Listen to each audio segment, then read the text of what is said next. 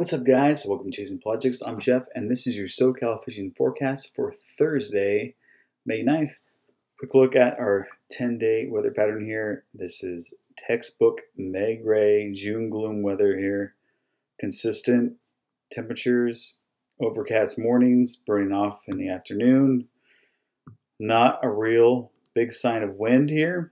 Quick look at our wind chart here from windy.com got light westerly winds and a little bit of an eddy condition as well. And as we move through the week, pretty much everything is just about the same here. Friday's looking really nice. Very light, light winds. Great fish spotting weather.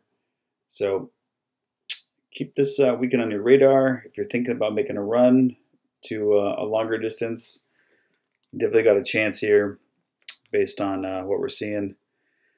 Things do start to pick up a little bit on Sunday into Monday, a little bit more weather westerly and a little bit more aggressive wind. But again, this is all, you know, 15 knots at the most, so very, very fishable weather, very doable in a private boat, all things like that. So looking any further than that, just things get unreal, unrealistic and unaccurate. Uh, or inaccurate.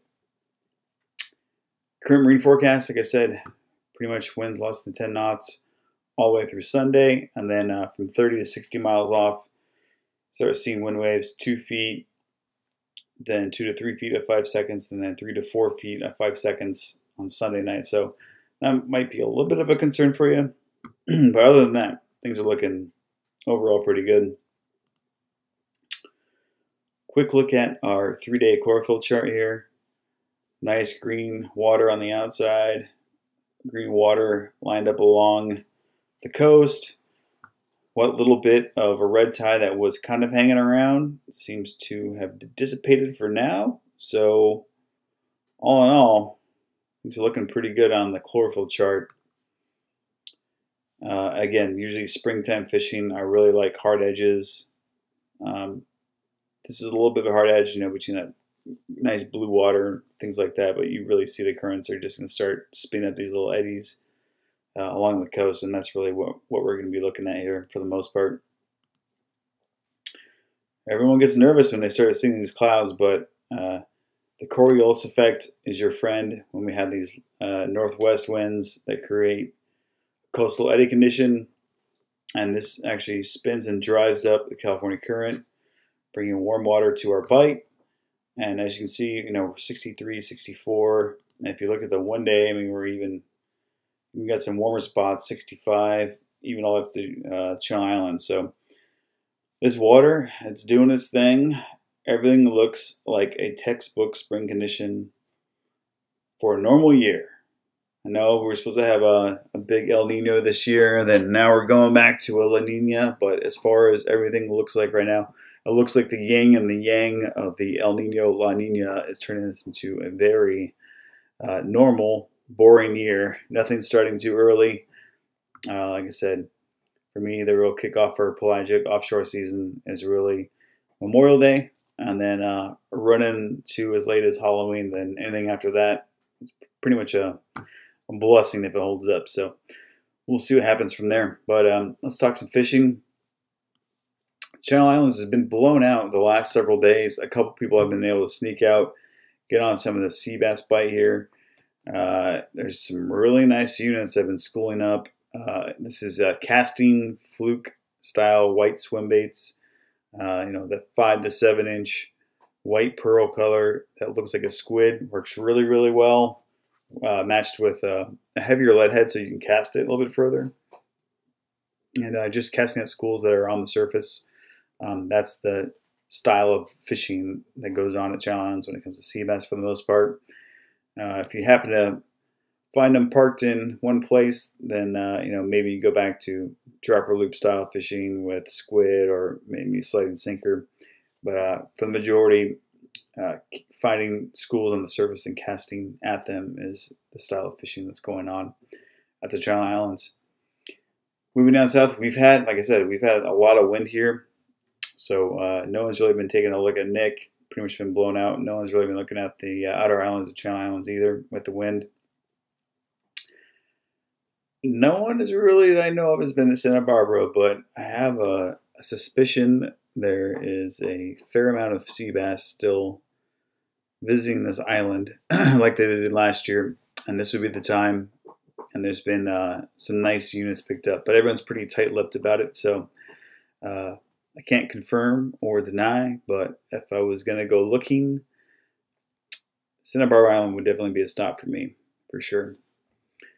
Moving to Catalina, uh, we've seen some sea bass, but there hasn't really been a lot of squid around the last couple weeks. So, again, this drives my suspicion back to Santa Barbara Island. These things, they gotta eat. They're hungry. They're not far from the lunchroom. So, if there's not a lot of squid here at Catalina, there's a good chance that they moved on to Santa Barbara Island. So uh, frozen squid will work too, but you got to find them first. If not, uh, you can definitely target these fish uh, using mackerel, slow trolling mackerel.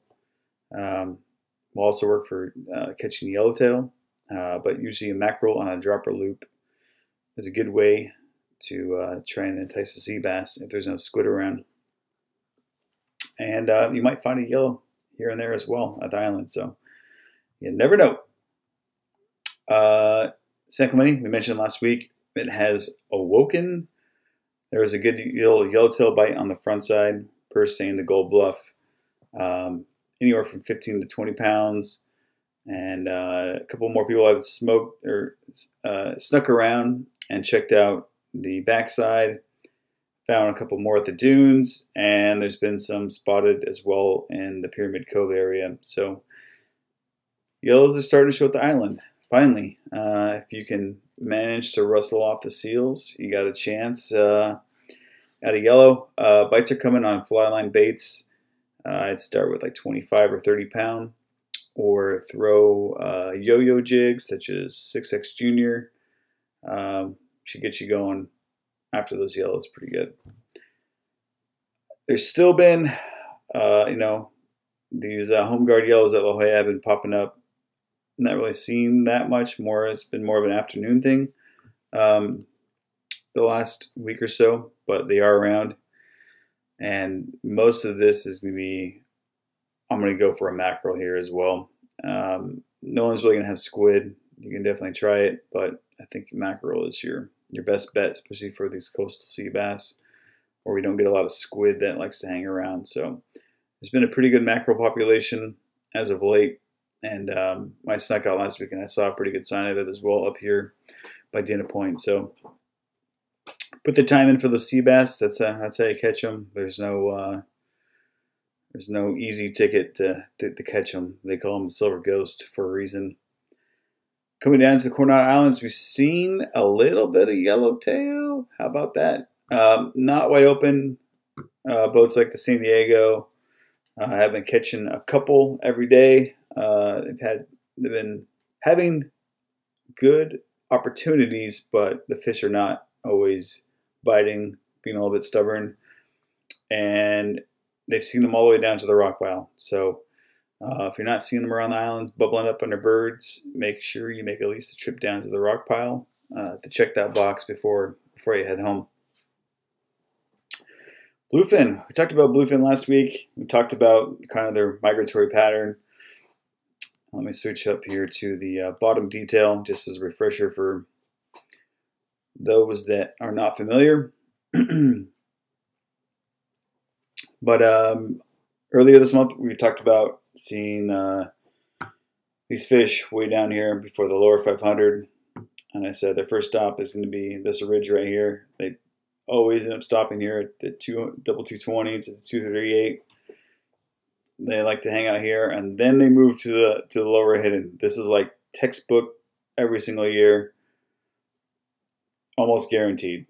This is their their next stop. So this week uh, they actually the last couple days they've seen here the lower hidden bank, and then uh, from there, usually this is where when they start sliding up.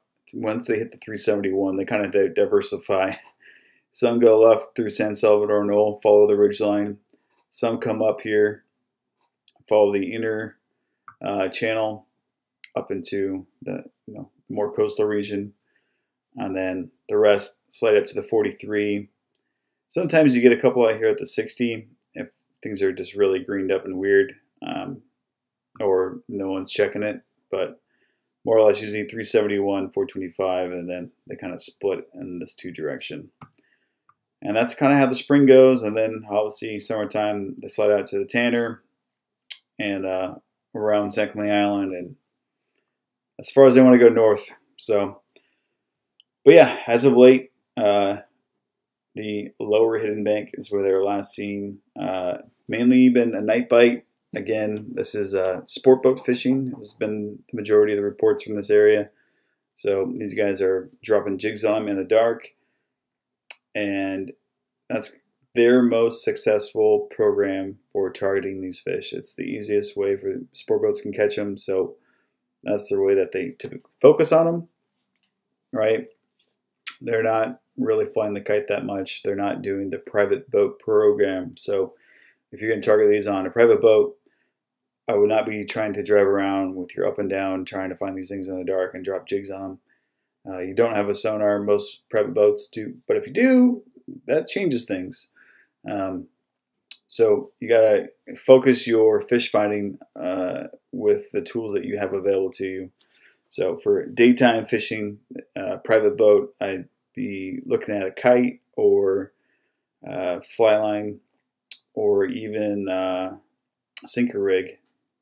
And I'd probably start light. Although there was some fish, the fish that were caught last last night and the night before, uh, they had some like uh, in the high high 100s, 180 ish, not quite 200. Um, although those were bigger fish, the majority of the fish caught before that were 40 to 60 pounds. So um, for daytime fishing, I would start with a, a 30 or a 40 pound uh, rig and uh, see if you can get bit first. You know, if you get bit off, uh, then slide up. Um, if you're on a, a, bigger grade of fish here, but for the most part, uh, guys during the daytime, these things are gonna be skittish, especially early season uh, daytime. So they haven't quite settled in. Like I said, these are kind of fresh fish to this area, and they get spooked easy, and you know they're kind of still nervous and checking things out. So once these things get locked down on a, a big piece of structure for multiple days in a row, we're talking four or five plus, and they're not being run over by 300 boats. Um, that's when you got a really good chance at you know putting the wood to them, but as of right now, this early season thing, they're gonna they're gonna poke around, they're gonna bounce around, they're gonna be hard to stay on top of. Um, so if you're on a sport boat, you're focusing on nighttime. Bring a variety of jigs. Uh, bring anywhere from you know up to 400 grams. You're probably not going to get it with this type of wind that I'm seeing this week, but maybe 300 should be enough to get down. And then uh, if you want to fish jigs during the daytime, switch to smaller profile. You know something like the Daiwa SK um, you know, 200 gram is fine if you're trying to get deep to those bigger fish, but um, you know, these early season schoolie fish, uh, the things that I found to be you know, really easy to kind of give them a good flash. It sounds silly, but you know, those old school Shimano butterfly jigs, they work just fine. If you stick to like a uh, a lighter weight like an 80 or a, uh, a 100 or maybe even a 125, they tend to flutter more before they sink. So you're giving uh, a better signal to the fish of what a bait is doing before it gets to that level. And sometimes uh, letting that jig float down to that level slower uh, will entice a bite. Or let's say the deckhand's throwing chum in the in the corner and the uh, the downwind corner. As long as you're out of people's way or whatever, sometimes you can toss a jig in that same spot in that same corner, let it get down to 100, 100 150 feet. Those fish are coming up to look at that bait are going to look at your jigs, and sometimes you'll get a bite off that versus uh, a fly line bait instead. You're giving something a little bit different than than what everyone else is fishing. Um, so that's another little technique you can you can try too, especially for this early season stuff. Um, definitely had that technique work for me multiple times, and uh, I invite you to try it for the daytime. Obviously, nighttime things they, they tend to like that speed at night. They just don't really like that slow moving jig. So again, all these jigging techniques always work your line in a vertical fashion. Don't let it get too scoped out. And uh, generally, you should have some pretty good luck. So, still early in the season. If you're out there on the water, enjoy yourselves. And uh, yeah, hopefully, got some more info next week. So, stay tight. We'll see you next week, guys. Cheers. Hey, thanks for watching. Make sure you subscribe to the channel and check out our website and online store at chasingpelagics.com. And make sure you share the stoke.